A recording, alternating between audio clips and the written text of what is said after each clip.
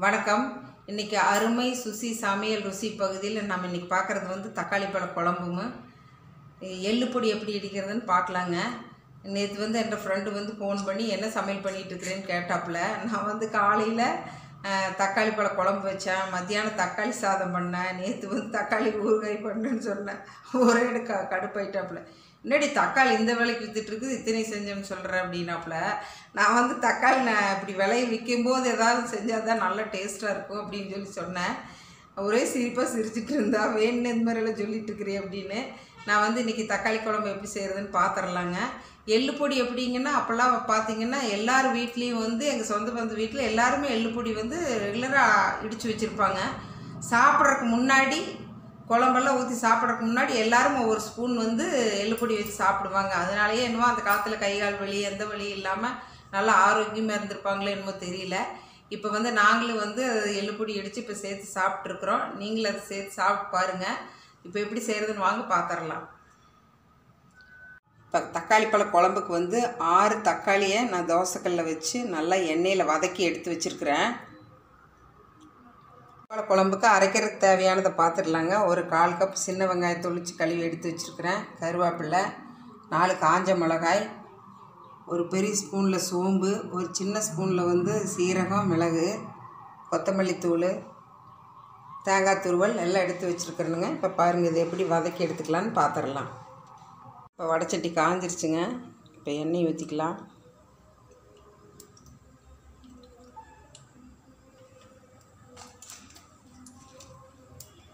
முதல்ல வந்து காஞ்ச மிளகாய்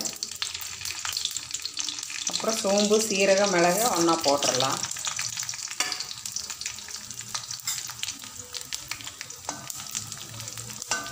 இது நல்லா செவந்ததுக்கப்புறம்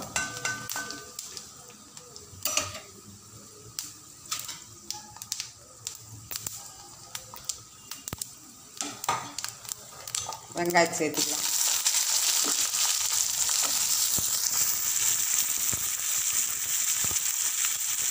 கருவேப்பிலை போட்டுக்கலாம்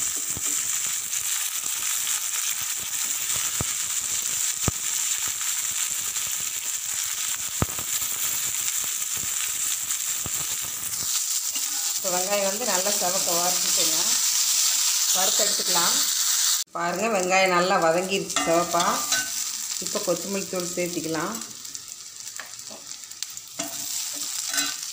அடுத்து துருவன வெங்காயத்தையும் சேர்த்திக்கலாம். அதை நல்லா கலக்கி விட்டுட்டு இந்த குழம்பு வந்து கொஞ்சம் கெட்டியாக வர்றதுக்காக நம்ம வந்து இது கூட ஒரே ஒரு ஸ்பூன் வந்து பொட்டுக்கடலை சேர்த்திக்கலாம். பாருங்கள் எல்லாம் வதக்கியாச்சு. இப்போ தக்காளி இந்த கல இப்போ இந்த கலவை நல்லா ஆறட்டு தக்காளி வதக்கினது எல்லாமே அரைச்சி எடுத்துகிட்டு தாளிச்சிக்கலாங்க குழம்ப.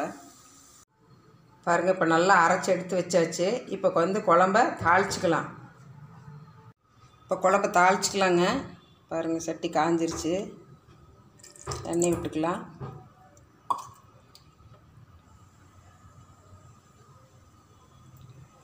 எண்ணெய் காஞ்சிருச்சு கடுகு போட்டுக்கலாம்.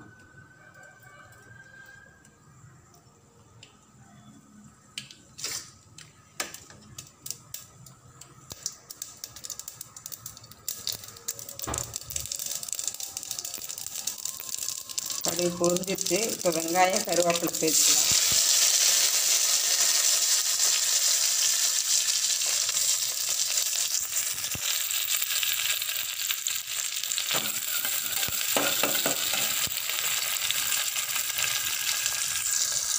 வெங்காயம் நல்லா வதங்கினதுக்கப்புறம் குழம்பு உள்ள ஊற்றிக்கலாங்க. வெங்காயம் நல்லா வதங்கிருச்சுங்க. இப்போ அரைச்சி வச்ச தக்காளி குழம்பு ஊற்றிக்கலாம்.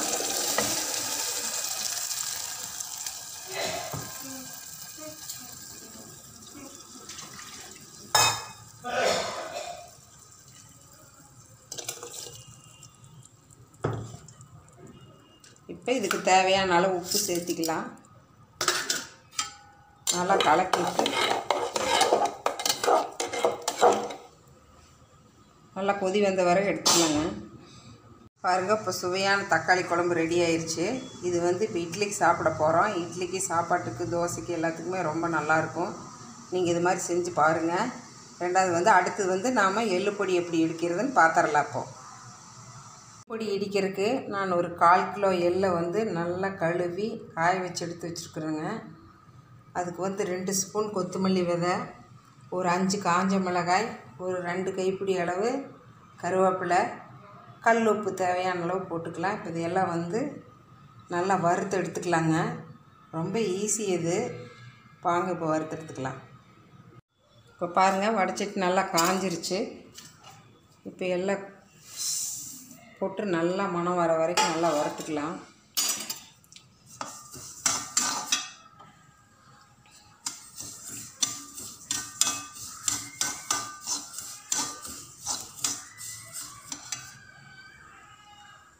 வெள்ளம் நல்லா வறுத்தாச்சு. இதை எடுத்து வச்சுட்டு நம்ம கொத்தமல்லி விதையும் காஞ்ச மிளகாயும் நல்லா வறுத்து எடுத்துக்கலாம். இப்போ பாருங்கள் கொத்தமல்லி விதையும் காஞ்ச மிளகாயும் போட்டு இதையும் நல்லா செவக்க வறுத்து எடுத்துக்கலாம்.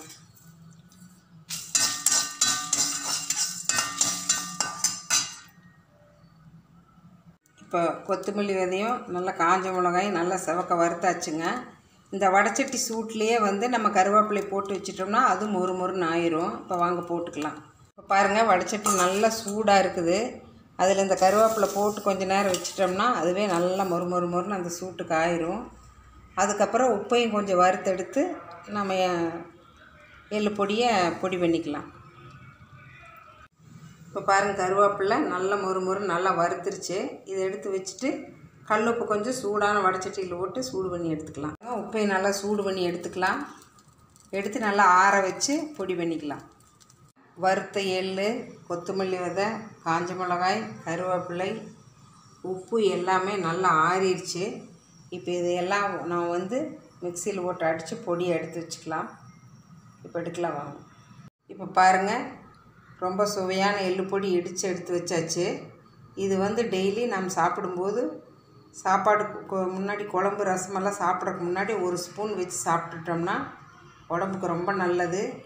நீங்களும் இதே மாதிரி செஞ்சு சாப்பிட்டு பாருங்கள் அருமை சுசி சமையல் ருசி பகுதியை லைக் பண்ணுங்கள் ஷேர் பண்ணுங்கள் கமெண்ட் பண்ணுங்கள் சப்ஸ்கிரைப் பண்ணுங்கள் நன்றி வணக்கம். உங்கள் சுசீலா ராமமூர்த்தி.